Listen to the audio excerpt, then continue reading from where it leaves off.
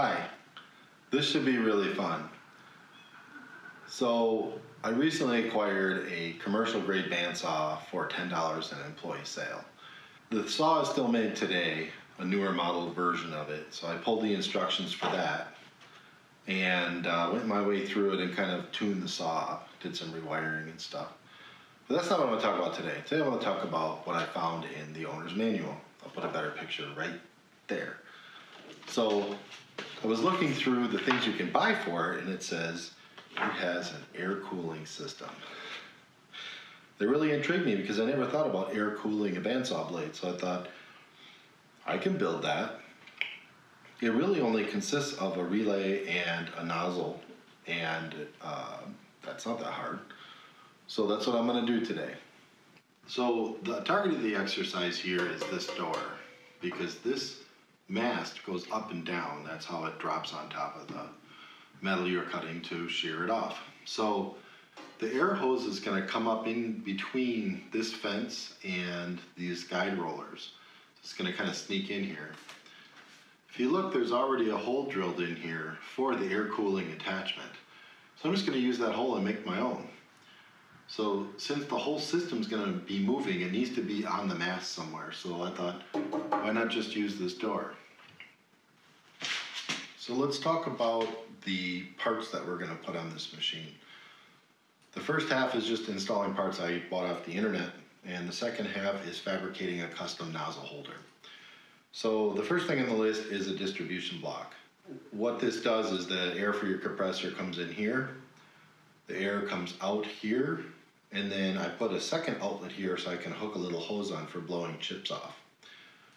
It does have a fourth output back here that I've just capped off. So the way this block is built is you can really make any port you want in and out. This is a pressure regulator. I splurged and got the fancy version that also has a air dryer in it that pulls the water out.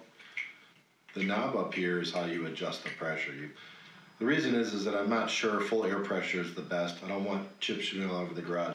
I want enough air to shoot the chips down into the pan and cool the blade, but not so much it shoots the chips everywhere. So I thought it would be smart to put an upgrade from the one that the company proposed and put a regulator on. The third component of the system on the door is the actual solenoid. So this takes AC power in and open or closes the valve accordingly. You could have a switch that opens it and closes it manually, but if you know me, I don't like manual anything. Everything in my house is automatic, so this is gonna be automatic too. And to tie it all together, I've got 25 feet of quarter inch plastic tubing, and I'm just gonna cut that to length. I'm building this to last, so that's why I'm taking a little extra care here to fabricate up a nozzle bracket. So I hope you enjoy this.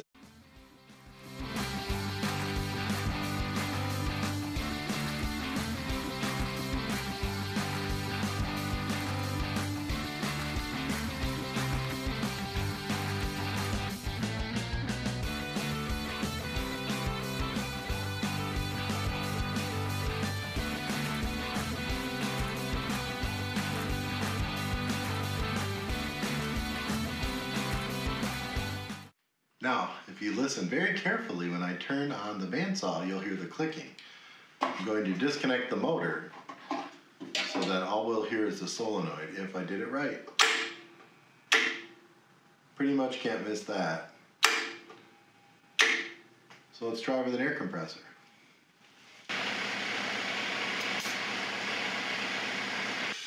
This is cool. I never I never built anything like this before, this is cool.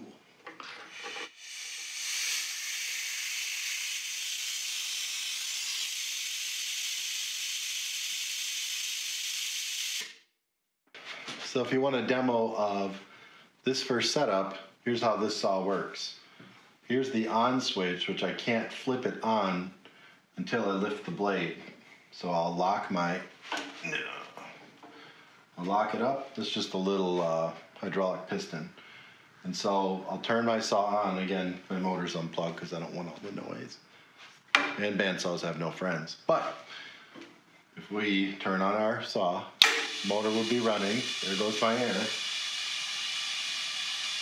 Just pretend it's cutting through something, and you'll see when this hits the bottom, Ta-da! So I converted this outlet to be switched so that this back one's on all the time. That's what powers my light that I added. And the front one is switched. And so how did I do that? That switch up there, there's no more current. There's that switch up there, there's no current running through it anymore for the motor. That's how it was wired originally. Now it's just an on-off signal to a contactor that's inside this unit. And I'll show you a picture of the contact later. So the contactor has two poles, one for the negative voltage and one for the positive. That's the 230 volt. I rewired the motor for 230 volt. I used a contactor, and so the output of one of the legs of the contactor supplies electricity to the solenoid. So only when the motor's running will the solenoid be open.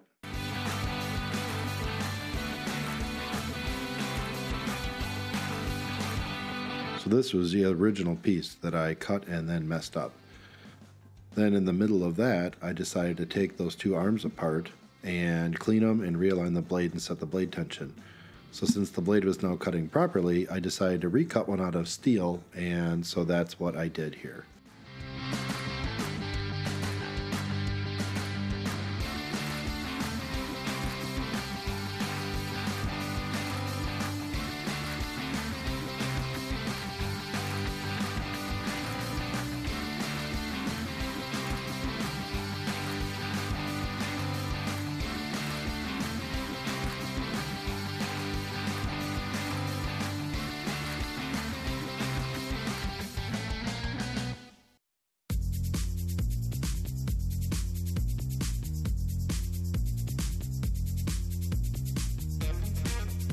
A lot of people think that the big taps are the harder ones, but actually it's the littler ones. This tap was medium sized and it does require a fair amount of effort, but the little ones are tough. It's not because it's hard to do it, but it's hard to not break it. These bigger ones can take a lot more abuse, so actually it's the small ones that I always dread doing. Use lots of cutting fluid and make sure you go back and forward often so you don't let the chips build up.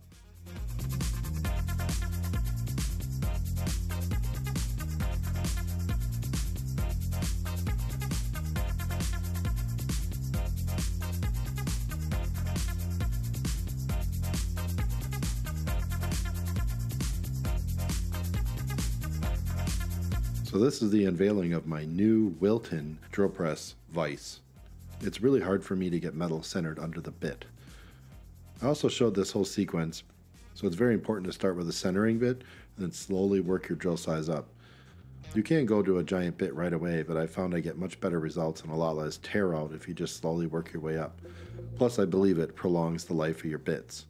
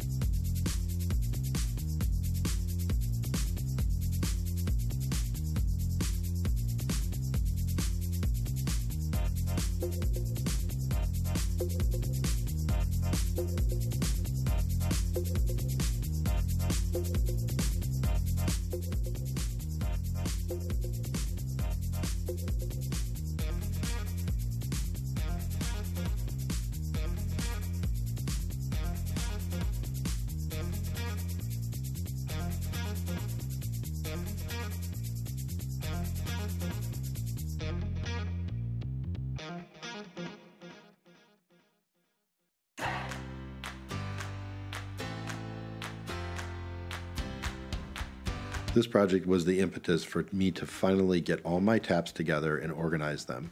I've been collecting them for years from garage sales and auctions and whatnot, and the pile has gotten too big. Check out this picture of where I ended up.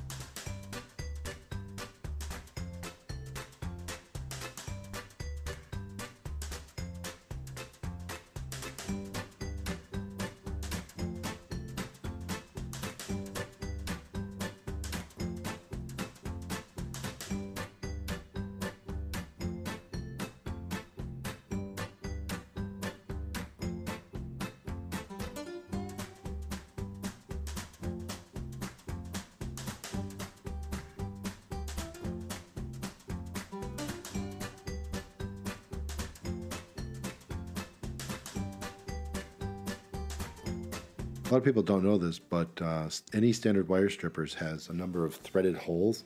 This is what they're for. You can put a bunch of smaller size screws into them, depending on what thread they are. Screw them to the length you want, and then cut them off. And then when you back the screw back out, it corrects the damaged threads. Just make sure you thread it into the threaded side. Don't go through the blank hole and into the threads, because then it won't fix the threads. So, just a little tip for you guys.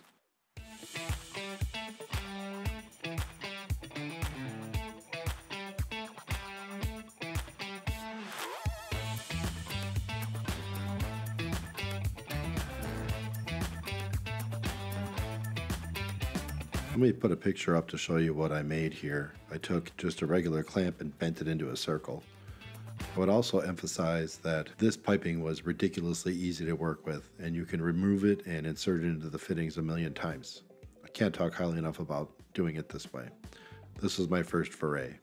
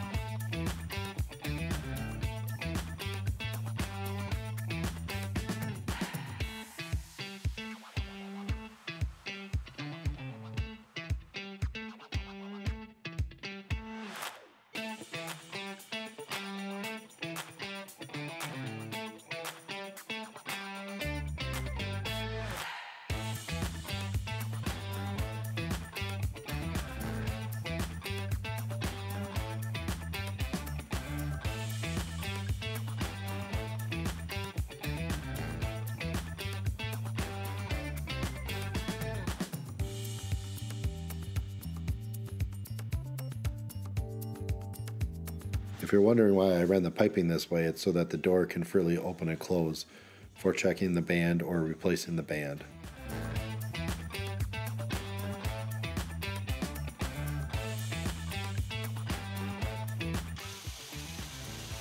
So after I shot this, I did a lot of playing around with the uh, pressure regulator. I decided that 10 to 20 psi is really all you need. Plus, it keeps the air compressor from constantly running if you have a, a medium to small one like I do. Either way, it seems to work pretty well and it seems to cut really nice. All I need to do now is buy a new band.